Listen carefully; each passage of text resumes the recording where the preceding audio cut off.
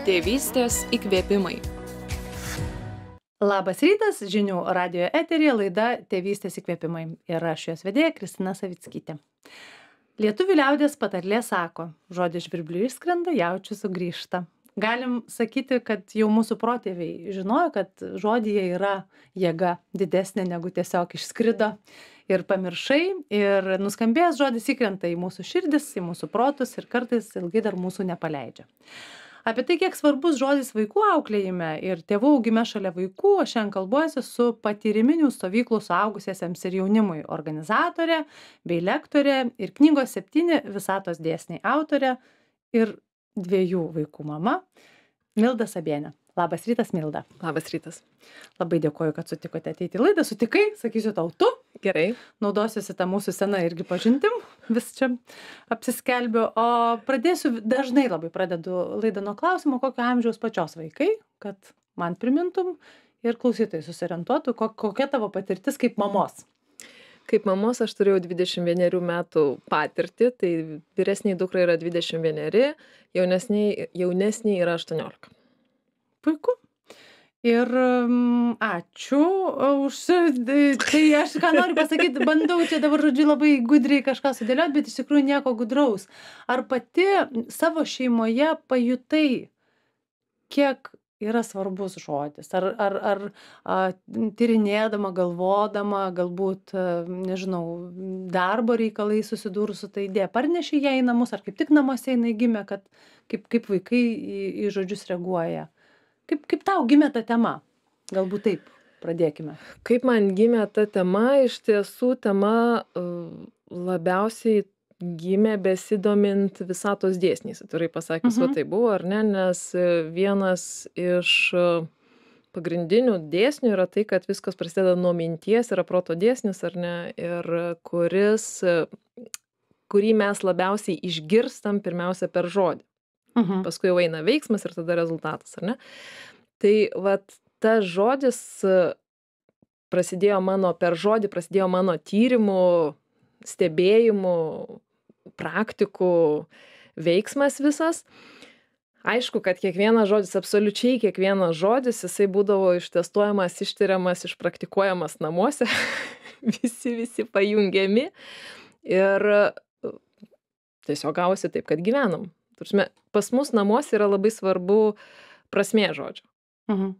Ką aš kalbu, kodėl aš kalbu, kaip aš kalbu, aišku, jau intonacijos prisideda, bet prasminis dalykas žodžio, etimologija, tai yra labai svarbu. Iš kur kilęs, ką neša, ką duoda. Tai, tai gerai, tai dabar įsivaizduokim, tu, per, tu pasidomėjai, sužinojai kažką ir kaip taip vyko praktiškai va dabar aš bandyčiau parsinešti tą patį aš grįžtu namo ir dabar ką susisodinu ir ir ir ką dabar man sakyt ką čia dabar kiekvieną žodį sversim žiūrėsim prasmę kaip kaip tai vyko praktiškai Praktiškai iš tiesų labiausiai vyko irgi per mano patyrimus ir mano, mano saviugdos kelią, kai aš pati pradėjau eiti savo saviugdos e, keliu. Uh, tam tikrų žodžių išgirdimas ir vartojimas, nes labai aišku yra... Kaip, savų, ką pati savų, sakai. Mhm. Taip, nes ašgi savų pirmiausia, nu, nei aš, nei kažkas kitas, e, nelabai mes ir girdim savų, ką kalbam, nebent va dirbi kaip tu uh, radijui, telikė. Ir gali ir grįžti ir jau, paklausyti. Ir priverstas mhm. esi filtruoti, nes kalbos inspekcija, kultūra ten tave šlifuoja, kirčiavimą, taip, sudėliojimus. Yra tame tiesos. Taip. Mhm. tai jums gal labiau pasisekė. ne, aš tau irgi turiu daug priekaištų, ne tik dėl kirčiavimo ar tarties, bet iš tiesų dėl vartojimo visokių įterpiamų žodelyčių. Uh mhm. -huh. Tai čia tikrai yra tas, kad mes turim tai, ko norėtume vengti, bet ne taip paprastai išeina. Taip, tai tu pradėjai klausyti savęs. E, pradėjau dirbti su tam tikrais tik tai žodžiais, nes jeigu pradėti klausyti savęs pilnai šimtų procentų, tai aš ir dabar pilnai savęs iš tiesų negirdžiu. E, buvo apie darbe, kadangi tam tikro laiku dirbau stipriai versle, vadovaujančiose pareigose, būdavo kalbant su žmonėmis šiukšlės, žodžiai šiukšlės, mhm. kurių nereikia vartoti kokie? Ar, ar kokie. E, žinai, tai taip ar ne, aš, pavyzdžiui, dabar dar irgi turiu tą ar ne. Aš irgi turiu tą, nes nesu tikrai dėl to, ką sakau. Ar ne visada, ar ne? tai, tai tokie žodeliai, kurie ir silpnina kalbą, ir jos neįgalina, ar ne? Ar ne? Labai gerai, bet pastebi, tai yra svarbiausia. Paskui jau išmesim. E, taip, tai tada prasidėjo irgi kitų prasminių žodžių vartojimas, nes prisidėjo rinkodara ir žinutės nešimas per rinkodarą. Tai priešdėlių naudojimas, nu, to, tokie jau, kur su vaikais važiuodom ir, ir kalbėdom, ką reiškia, pavyzdžiui, akcija nesityčiok. Mhm. Ar ne? Koks vaizdas kyla? Nesityčiok, o kas Mm. po to? Ne? Nes iškyla smegenyse veikia tiesiog taip kad išgirsti žodį smegenys sukuria paveiksliuką tu esi tame paveiksliuke ir paskui nebežinai ką su tuo daryti. Yra tiktai nesityčiok užsifiksuoja nesityčiojimas tiksliau ne negirdi lieka tyčiojimasis ir mes su tom patyčių temom ypatingai paauglystėje ar bet kur kitur suaugusių ar ne toks labiau rafinuotos patyčios yra tiesiog jos ir toliau vyksta pilnu šimtu procentų prasme, ir tai yra gaunasi tas pats NLP, ar ne, progr prog Tam tikras programavimas savęs, tiek tautos, tiek visko. Ir Tai jūs su vaikais, jūs kalbėdavote apie tai Taip. su savo paaugliam dukrom, jau teisingai tada, suprantu? žinai, dar buvo net ne paauglės, jai buvo, vienai buvo 8, kitai 11 metų, Mhm. mes apie tai ir diskutuodavom tiesiog ir kalbėdavom. Aha. Taip, ką neša žodis. Ir, ir tikrindavom, yra, kaip čia pasakyti dabar, kineziterapinis e, metodas raumenų stiprumo tikrina šiaip osteopatai, jį tikrina daktarai. Biometrija čia Tai- apie tai tai biometrija, Kur, kiek stiprus kiekvienas raumenukas. Tam Taip. tikrais judesiais mes galim pažiūrėti. Galim Mhm. pasižiūrėti, galim pasižiūrėti, koks vitaminas tinka, kokia tinka daržovė, taip toliau lygiai taip pat žodžiai. Ir kai pasižiūri, koks žodis ką neša, jis tave stiprina ar tave nelabai stiprina. Tai ir klausimas, nes dabar, pavyzdžiui, labai populiarus, sakykime taip, žodis žiauriai yra. Mhm. Prasmė jo yra lietuvių kalboje viena tiesiog, tai yra negailestingai. Mhm. Nu, žiauriai man patinka dalykai. Taip, aš irgi Že- mėgstu šitą. Žemaičiai, žemaičiai su to labai linkę ginčytis, nes sako, žiauriai čia yra mūsų visi reikalai. Taip, aš sutinku, žemaitijai buvo laiko tarpas, tai per daug ėjo karų ir istorinė, kur buvo labai daug negailestingų ir žiaurių įvykių.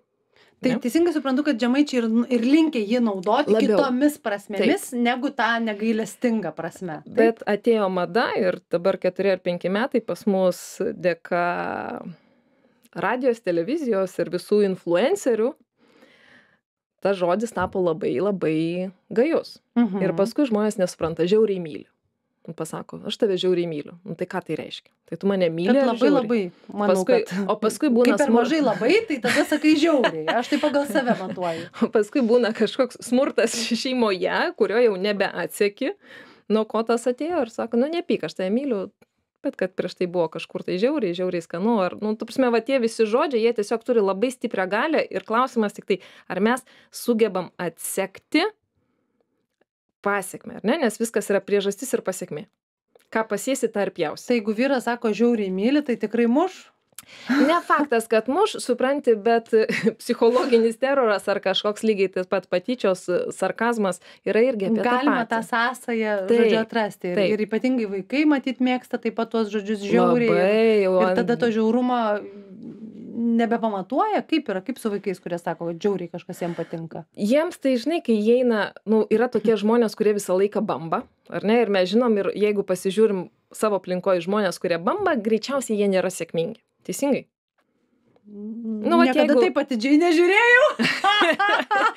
Dabar bar- pradėsiu. Bet, nu, jeigu pasižiūrėtumėm kiekvienas savo draugų ratą ir išskirtume žmonės, kurie džiaugiasi gyvenimu, kurie Mhm. yra sėkmingi, kurie yra dėkingi už tai, kas vyksta gyvenime, aš manau, kad jūs tikrai at- 80-90 procentų jų yra sėkmingi, jiems viskas gerai, sekasi su darbais, su, vais- su viskuo. Tie, kurie bamba, pastoviai skundžiasi, pastoviai dėmesį nukreipia į tokius dalykus, prie ko prikipti, kas negerai ir taip toliau, prasideda lygos, nelaimingi atsitikimai, jiems visą laiką nesiseka, jiems juos visą laiką kažkas nuskriaudžia, nu, Ir visą tai lyg laiką jiems... patvirtina tai, apie ką jie Taip, kalba. Taip, Bet ar teisingai girdžiu, kad jeigu jie nustotų apie tai kalbėti, tai galbūt kitaip tikėtina, kad suktųsi? pradėtų suktis ir iš tiesų žodžių pakeitimas ir išėmimas labai labai stipriai daro įtaką tam. dabar pati sakei, kad, tarkim, kalbant apie tas pačias šiukšles, na, čia tiesiog kaip pavyzdį, kaip tos žodžius išiminėt, kad iš pradžių pradedi pastebėti juos Taip. ir užtrunka laiko, kol, Taip. kol, kol išmoksti be Taip. jų. Teisingai, kiek maždaug laiko užtrunka išimt kokią šiukšlę tau? Man Arba kokį žodį, n- tą patį žiaurį, jeigu aš mėgstu sakyti žiauriai skanu, ar ne? Tai kiek man aš užtruktų? duodu savo laiko pusę metų. A, nėra taip greitai, bet irgi Ne. ir nebeviltiška. Ne. Duodu laiko ir aš tada namuose paprašau, kad man, man padėtų. Ir ypatingai, kai dukros buvo mažesnės, buvo geriausias dalykas, tai sekti mamą ir sakyti, a, nes už tai aš turėdavau daryti namuose pritupimus. O, prašau. Ir lygiai taip pat mes tai išvesdavom į žaidimo formą.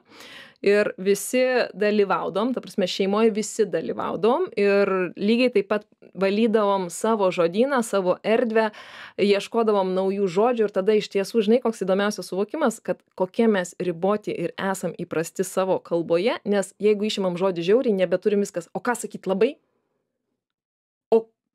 Tai kaip kitaip pastiprinti? A, tai skaitykit literatūrą ir ieškokit žodžių, sinonimų žodynai, ar ne? Lietuvių kalba yra be galo turtinga kalba.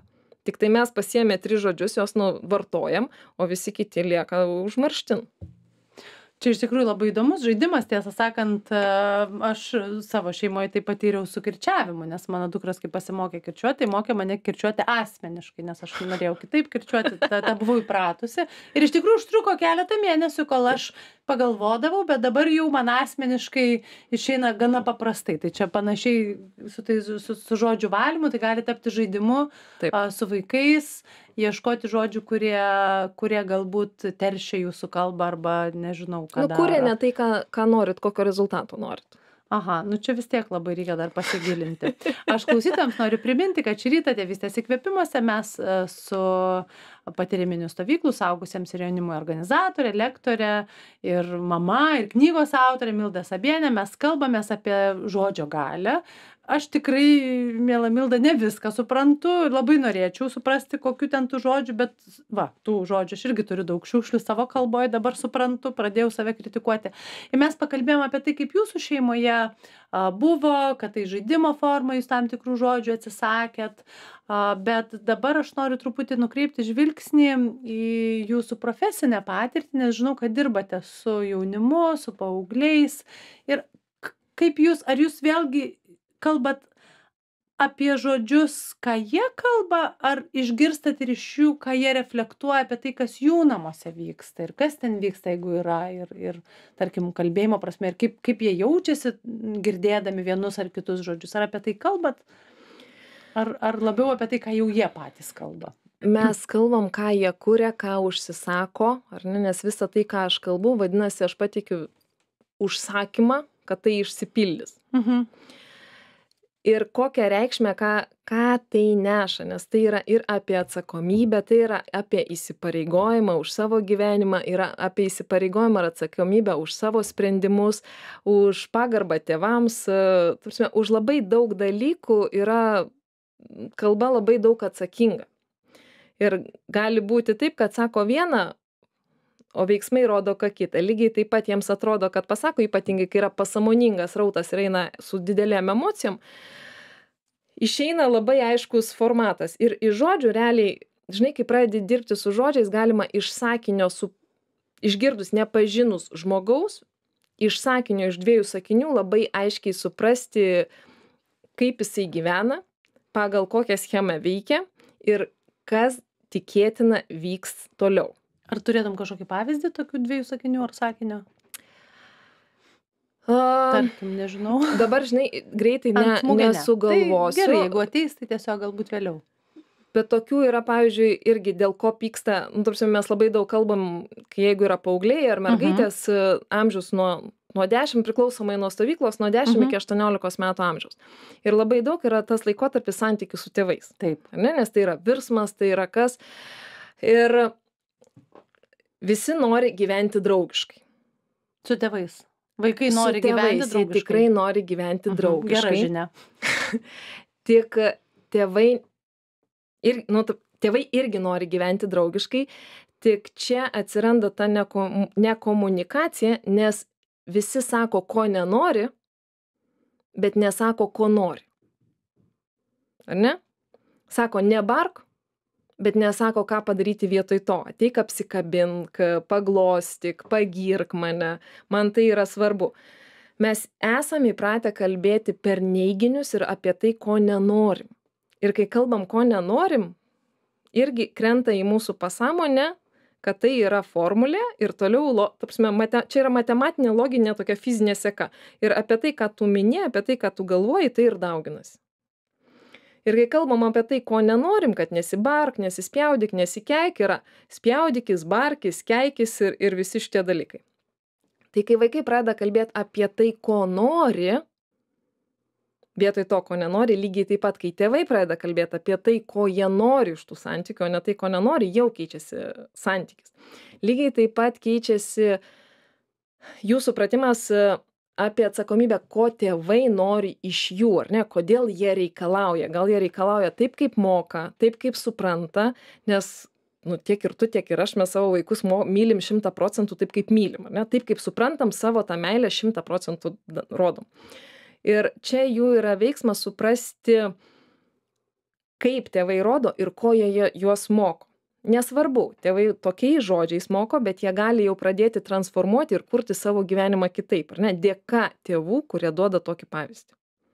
Tai su jais mes pradedam tą analizę žodžio analizę tokių lengvų šiukšlinių žodžių išmetimą analizę privedant tai prie fizinių pratimų nes kai privedam prie fizinių pratimų tada smegenys lengviau įsisavina supranti. Kai reikia daryt pritūpimą ar ne? Kam pritūpimą kam atsispaudimą jau paskui jie kai per dieną padaro du šimtus pritūpimų labai greitai pradeda girdėt. Ta prasme klausa įsijungia unikaliai pas visus.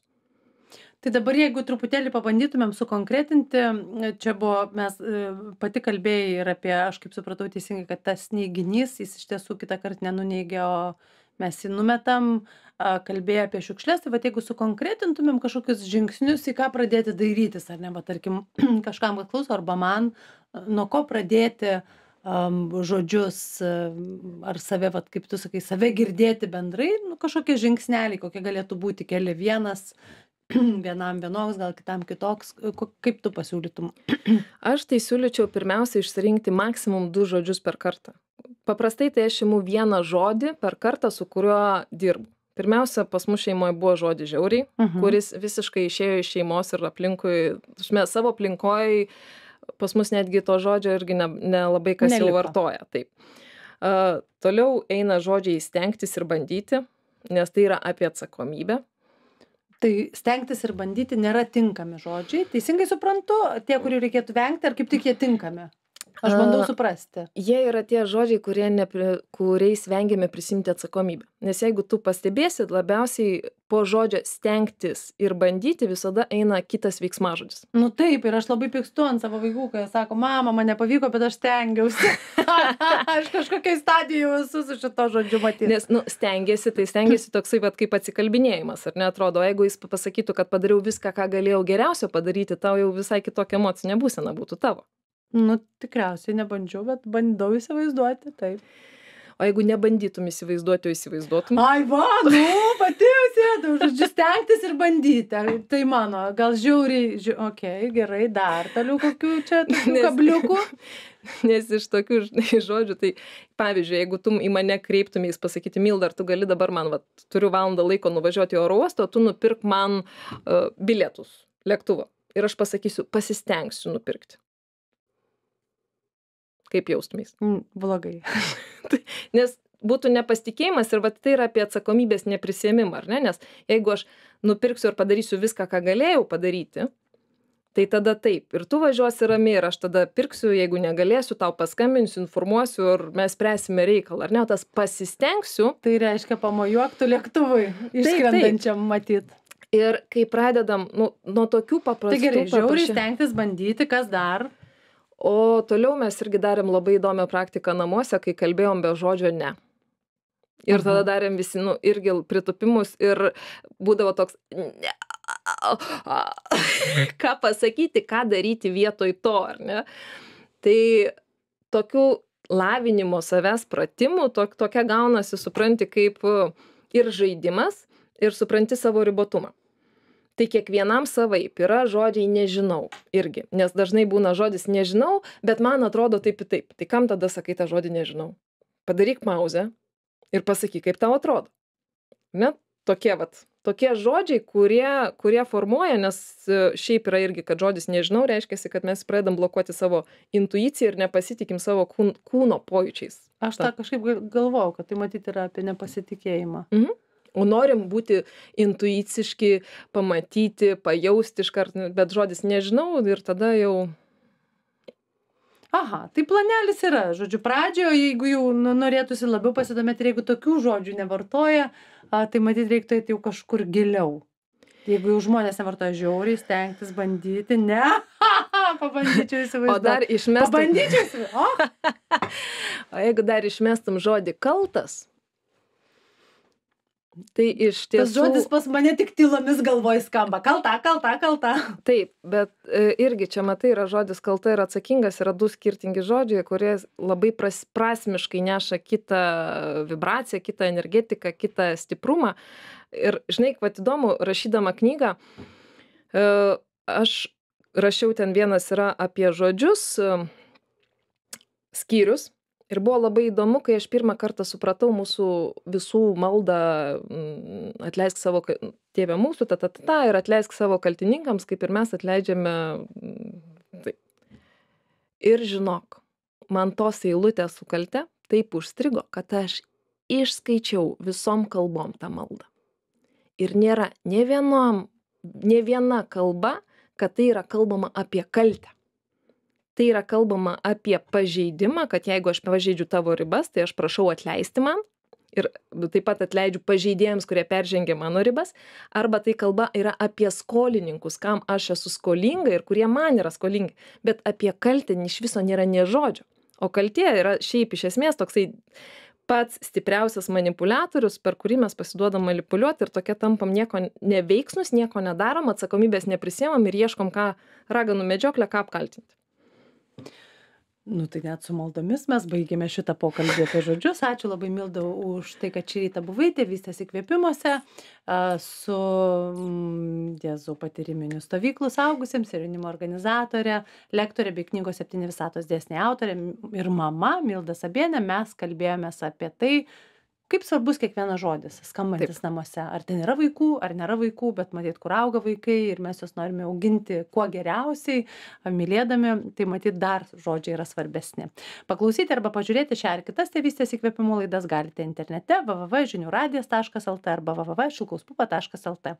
Aš Kristina Savickytė atsisveikinu, linkiu tokio žaismingo savaitgalio, gal ką įkvėpsim, na, paeksperimentuoti su žodžiais savo namuose iki kito šeštadienio sveikinu su klausytojais, o Milda dėkoju ir sakau iki. Dėkoju, iki. Tėvystės įkvėpimai.